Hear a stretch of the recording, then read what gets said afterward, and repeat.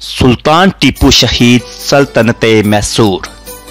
फतेह अली टीपू, जो बाद में टीपू सुल्तान के नाम से मशहूर हुए, नाजरीन बर सगीर की तारीख टीपू सुल्तान के ज़िक्र के बगैर नामुकम्मल है।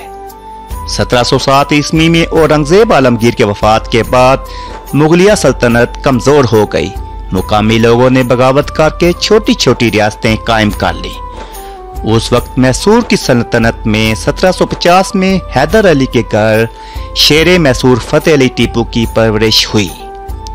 टीपू सुल्तान की ज़रूरत शुजात का यह आलम था कि यूरोप में माए अपने बच्चों को टीपू सुल्तान के नाम से डरा कर सुलाती थी।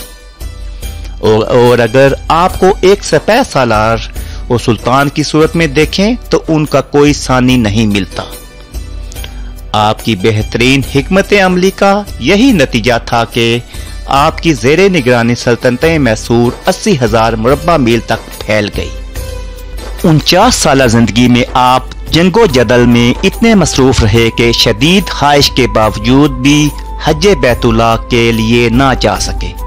और दूसरी तरफ़ एक मौका पर मस्जिद आला के अफ्ताह के मौका पर जब यह शर्त रखी गई कि अमामत वो कराए जिसकी बलूगत की उम्र के बाद कोई नमाज़ कजा ना हुई हो। उस मौका पर मुल्क के बड़े बड़े मशाइ और उलमा कराम मौजूद थे। लेकिन कोई भी यकीन से आगे नहीं आया। उस मौका पर शेर मैसूर सुल्तान टीपू आगे तशरीफ़ लाए और फरमाया, मैं साहिब तरतीब हूँ। सुल्तान टीपू के मार्को के दौरान भी बाजमात नमाज़ के अहतमाम ने साहब कराम के दौर की याद ताज़ा कर दी।